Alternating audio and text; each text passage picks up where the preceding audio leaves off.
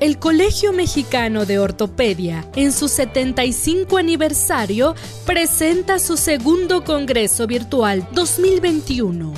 El doctor Gerardo Zárate Ramírez es cirujano ortopedista, con posgrado en cirugía de la mano y microcirugía por el Instituto Nacional de Rehabilitación actual vicepresidente de la Sociedad Mexicana de Cirugía de la Mano y Microcirugía y miembro activo de la Sociedad Internacional de Artroscopía de Muñeca. El doctor Zárate hablará sobre opciones de reconstrucción artroscópica de la radio cubital distal. El tema de la articulación radiocubital distal ha sido estudiado desde hace muchos años y aunque se han avanzado grandes pasos, entenderle y tratarle continúa siendo un verdadero reto apasionante. Agradezco al Colegio Mexicano de Ortopedia la invitación a participar en este bloque dedicado a la radiocubital distal, tema por demás interesante y para el cual contamos actualmente con diversas opciones de tratamiento. Hablaremos acerca de algunas de las alternativas artroscópicas.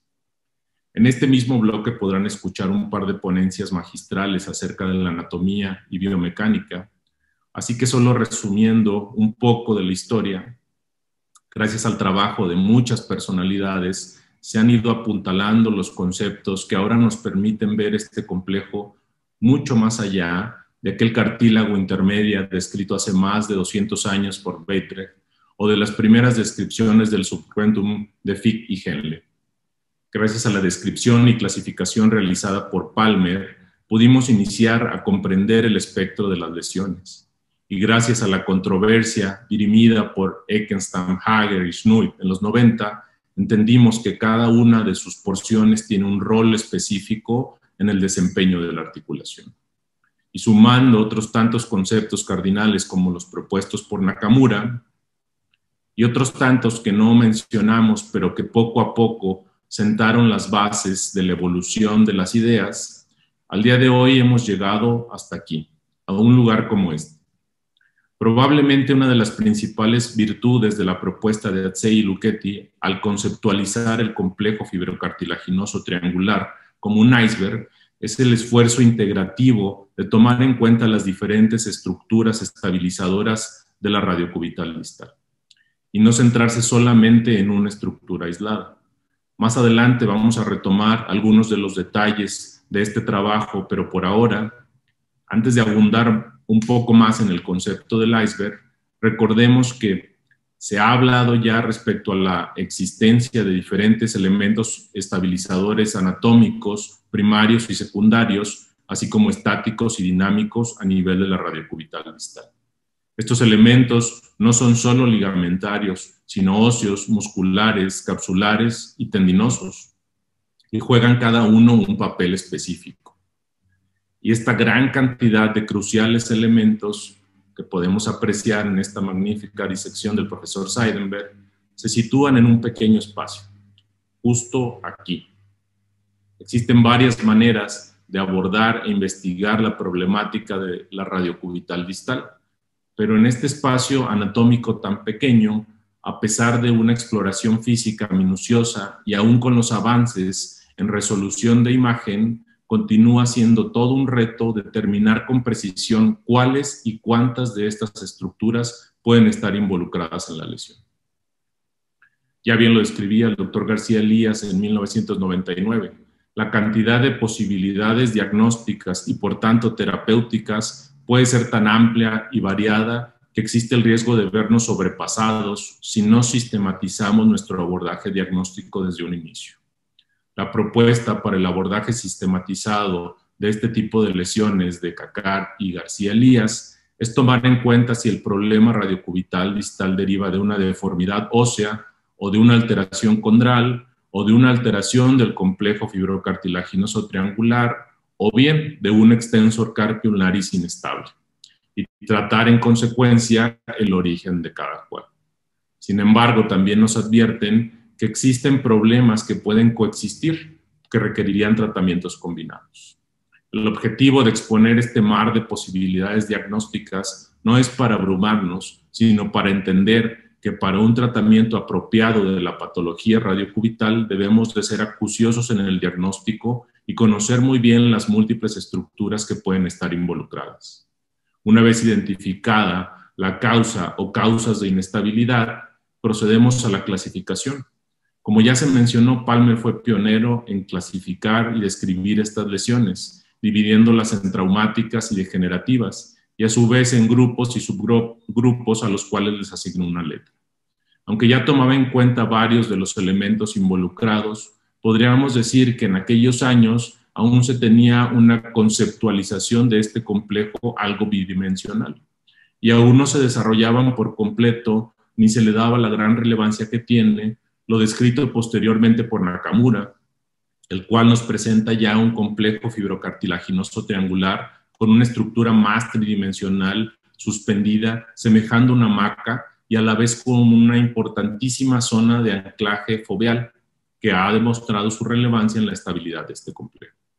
Tomando en cuenta toda esta evolución de conceptos y basados en hallazgos clínicos, radiográficos y artroscópicos, Atsei y Luchetti proponen en el 2011 un nuevo sistema de clasificación, esquematizando el concepto con un iceberg, en el cual se toma en cuenta tanto las porciones distales como proximales del complejo y el rol para absorber impacto y para estabilizar tanto la radiocubital distal como la cúbito carpal. En base a sus hallazgos y al análisis de los resultados terapéuticos obtenidos por otros autores, identificaron que, que existía cierto patrón de lesión periférica que no encajaba adecuadamente en la clasificación 1B de Palmer. Considerando además que suelen ser las de mayor repercusión clínica, propusieron una nueva clasificación y en base a ello un algoritmo de tratamiento. En esta se toman en cuenta las pruebas clínicas de la estabilidad y artroscópicamente el aspecto eh, con el hook test. Ya que entramos al horizonte artroscópico, ¿por qué artroscopía para estas lesiones? Como ya dijimos, es un pequeño espacio anatómico en el que habitan múltiples estructuras de las cuales es deseable tener la mayor cantidad de información para realizar un tratamiento óptimo y usando y tal vez abusando un poco del concepto de iceberg, existen varias maneras de aproximarnos a un terreno como este. Abrirnos paso de la manera convencional sigue siendo una alternativa útil.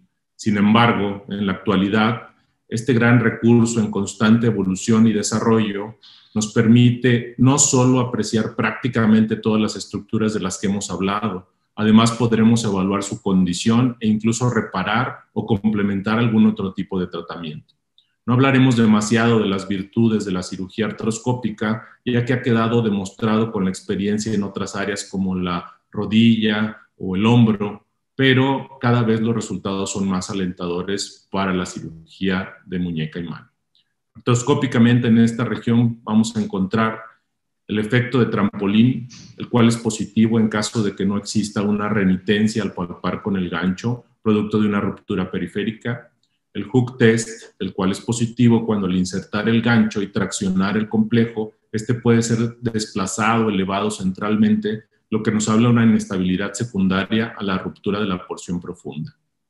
También podemos encontrar lesiones condrales, como en este caso de una lesión masiva, o lesiones asociadas, como en este otro caso en el cual encontramos una lesión semiluno piramidal. Además, podemos ver debajo del fibrocartílago y entrar a la radiocubital distal. Es probablemente en esto, es decir, en la evaluación de lesiones complejas o asociadas, en donde la artroscopía resulta un recurso diagnóstico terapéutico invaluable. ¿Qué opciones artroscópicas existen para la radiocubital distal? Hablando de recursos artroscópicos y en base a su clasificación, ah, para la clase 1 pueden existir técnicas de sutura desde las capsulares, las primeras descritas por Sky y Estrella, hasta algunas más avanzadas, todo dentro, como las descritas por el doctor del Piñal. En los casos en los que la porción profunda se ve comprometida, la reinserción foveal es la pauta a seguir.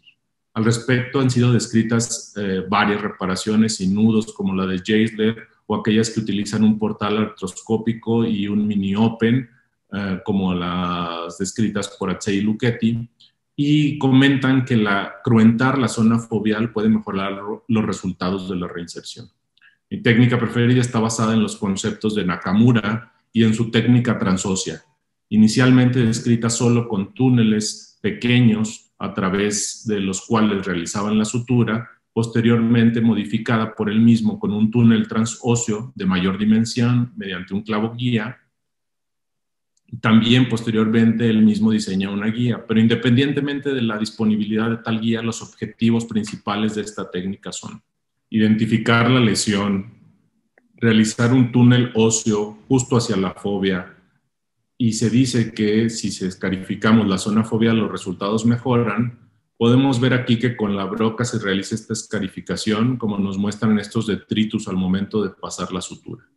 Esto muy importante al momento de fijar la reparación es relajar la distracción de la muñeca para realizar un tensado fisiológico.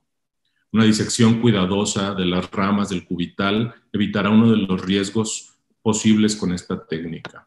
Además, nos permite eh, poder valorar la tensión que damos incluso al momento de tensar o relajar la construcción. Los resultados suelen ser satisfactorios con esta técnica,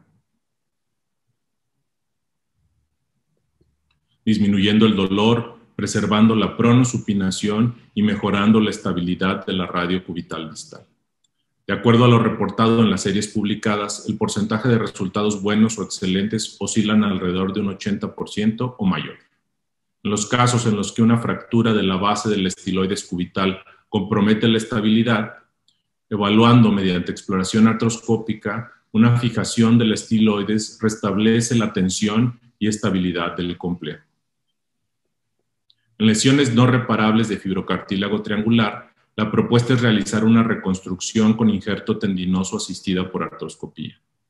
En el 2009, basados en algunos conceptos de la reconstrucción interarticular con injerto tendinosa descrita por el doctor Shecker, y refieren los autores al no encontrar una descripción en la literatura de una técnica artroscópica de este tipo de reconstrucción, el doctor Espinosa, Ramírez, Renán y Sánchez describieron una técnica de reconstrucción con injerto tendinoso, encontrando su reproducibilidad, restablecimiento de la estabilidad y preservación del rango de movilidad. Actualmente se encuentran descritas ya varias técnicas reconstructivas con injerto tendinoso y algunos de los seguimientos a corto y mediano plazo describen resultados prometedores.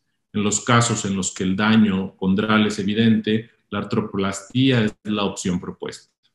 No abundaremos mucho en ello, pero ahora existe la posibilidad de realizar reemplazos articulares con implantes diversos, mostrando en el seguimiento algunos mejores resultados que otros, siendo superior la prótesis semi-constreñida del Dr. Shecker en cuanto a estabilidad y supervivencia. Aunque la evolución de los implantes promete una solución a los casos graves, normalmente producto de una inestabilidad crónica, precisamente es donde la artroscopía podría jugar un papel preventivo es decir, entre más temprano se detecten y se reparen las inestabilidades de una manera menos invasiva, tal vez podamos evitar o retardar lo suficiente la necesidad de procedimientos de reemplazo o salvataje. Concluyendo y como mensaje para llevar, la historia de la radiocubital distal ha recorrido un largo camino de evolución que nos permite entenderle ahora de una manera diferente. El conocimiento no solo de las estructuras, sino de su rol en el funcionamiento de la radiocubital distal nos permite buscar alternativas de tratamiento específicas para el daño. La artroscopía en este nivel muestra el día de hoy ya una opción viable y continúa su desarrollo a medida que diagnostiquemos y tratemos estas lesiones de manera temprana y menos invasiva, podremos alargar el tiempo e incluso evitar un procedimiento de salvataje. Muchas gracias por su atención.